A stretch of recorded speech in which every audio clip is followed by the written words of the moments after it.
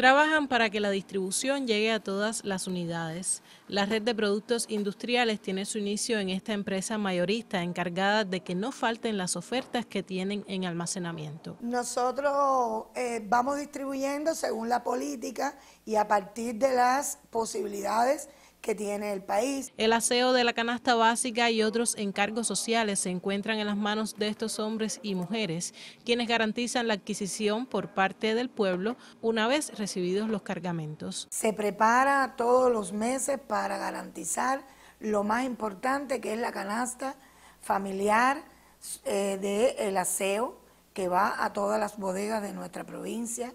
Nosotros garantizamos también el programa de canastilla, toda la canastilla que llega a, las mamás, eh, desde la cuna, el colchón, el módulo textil, el módulo perfumería. Somos los encargados, eh, junto con la base de carga, llevarlo hasta, hasta, la última bodega de, la provincia. Una vez al mes, por la disponibilidad del país y según también por el censo de la canasta básica, que nos entrega los FIGODA, el detergente, el Intel, el Rina, tenemos el, jabón Brisol, el jabón tocador, el jabón Daily, la crema dental. Las producciones generalmente van al primer y único, el, el cliente más importante que tenemos nosotros, que es el comercio interior.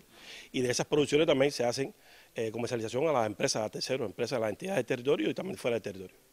Eh, ¿qué, productos, por ejemplo, pueden ustedes estarle ofertando a las empresas o también a las cooperativas del sector no estatal? Claro, hay variedad de productos, eh, sin contar lo de la canasta, que tiene, un único sentido, que es a la población.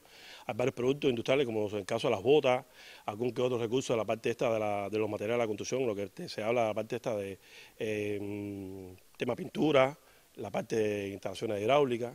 Además, como extensión de la entidad, cuentan con la recién creada Unitienda, un centro comercial para las ventas de los diferentes actores económicos que acercará sus prestaciones a quienes demandan bienes y productos para su trabajo.